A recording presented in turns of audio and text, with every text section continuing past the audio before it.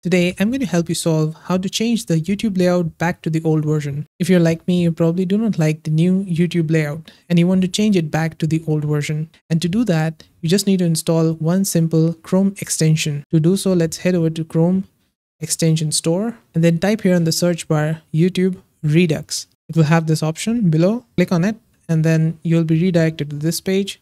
It says YouTube Redux and then you can add to Chrome. Let's add this extension to Chrome. It will have this pop-up. Let's just click on add extension. And now YouTube Redux has been installed. Now you can change the settings from here. You can trim the subscribers count, disable infinite scrolling and such. And also the use small video player. You can change the resolution of this. Uh, these options are here. Now let's see how our YouTube looks like. Let's refresh it.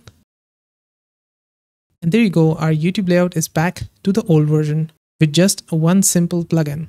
Did this video help solve your problem? Let me know with a like and comment.